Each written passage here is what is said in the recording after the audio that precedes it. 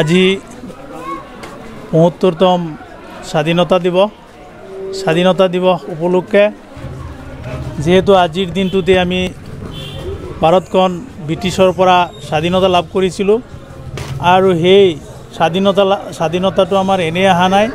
আমাৰ মহান ব্যক্তি মহামানৱ মহাত্মা গান্ধী, চৰ্দাৰ বল্লভভাই পেটেল, আবুল কালাম আজাদ ভগত সিং আজি সেই মহান ব্যক্তিসকলৰ সুভাষ চন্দ্ৰ বসু আত্মবলিদানৰ ত্যাগত আমি স্বাধীনতা পাইছোঁ। এই সুযোগতে তেখেতসকলক আমি শ্ৰদ্ধাৰে সুঁৱৰিছোঁ। লগতে তেখেতসকলৰ আত্মাৰ সদগতি কামনা কৰিছোঁ।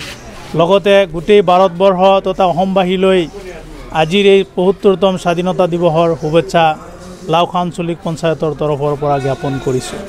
ধন্যবাদ। এই নাই আজি এই সভাখনত মই মাইনৰিটি বৰ্ডৰ অধ্যক্ষ হিচাপে কলিয়াবৰৰ লাওখা উন্নয়ন খণ্ডত বি ডি অ'ৰ আমন্ত্ৰণক্ৰমে উপস্থিত হৈছোঁ। আৰু এনেই ভাল লাগিছে যিহেতু অনুষ্ঠানটো ক'ভিড প্ৰট'কল মানি সুচাৰুৰূপে সম্পাদন হৈছে। মই মোৰ ফালৰ পৰা তেখেতক অৰ্থাৎ এইখন ব্লকৰ নতুন বি ডি অ' আনিছ বেৰিয়াৰ তেখেতক শুভেচ্ছা অভিনন্দন জ্ঞাপন কৰিছোঁ।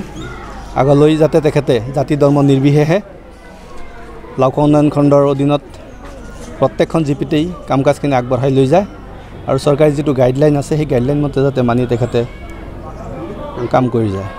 ইয়াত কোনো জাতি ধৰ্মৰ কথা নাহে জাতি ধৰ্মৰ ঊৰ্ধত থাকি তেখেতে যাতে কামখিনি কৰে তাৰ কাৰণে মই তেখেতক অনুৰোধ জনাম। ঠিক আছে।